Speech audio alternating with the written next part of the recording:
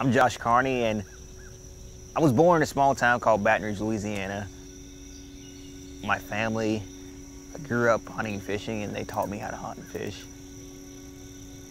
Very young age, three years old, my dad would take me out there. We go rabbit hunting, and you know, I fell in love with you know hearing the dogs, and you know, it, it sounded like a, a choir, orchestra, music. I got into hunting more you know, just different styles of hunting, you know. You know, so I could rabbit hunt in the morning, go deer hunt in the afternoon, and just being outdoors all day long. So my dad would go to work and I'd go hunting the property behind his cabinet shop and you know, that's where I was. You, know, you found me in the woods somewhere. And around 13 years old, I discovered this thing called turkey hunting. And it's probably one of the most addicting things to mankind. We set out and we crossed a ditch and we set up my dad's 20 yards to my left.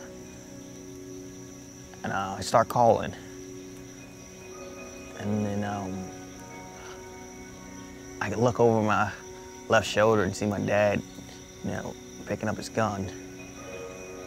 And I just, I'd sit there. So let me see something.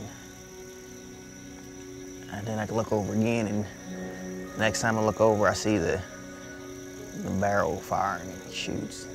That's when he shot me. He runs over, he picks me up, my body's numb, I'm ringing in my ear, I can't hear anything, and he picks me up, and I'm like, Dad, you shot me.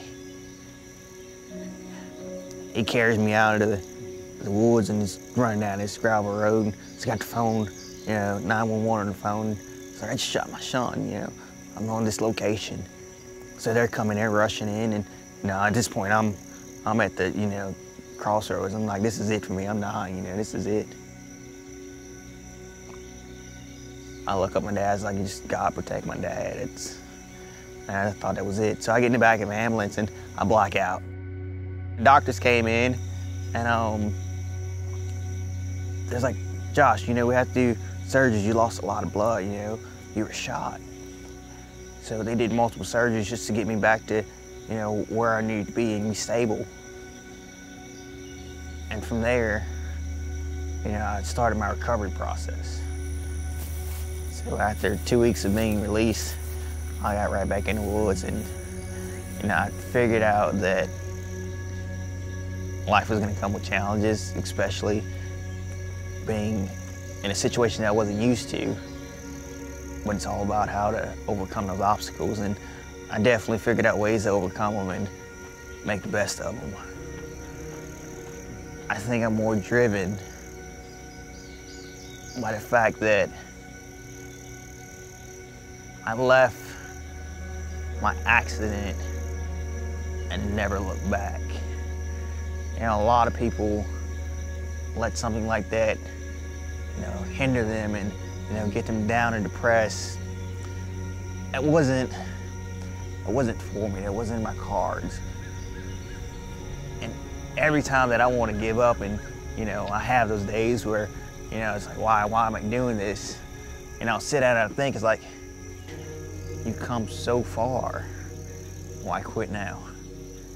Until you are absolutely alone, learning who you are as a person, that's when you discover your happiness, you know, what makes you tick, what drives you.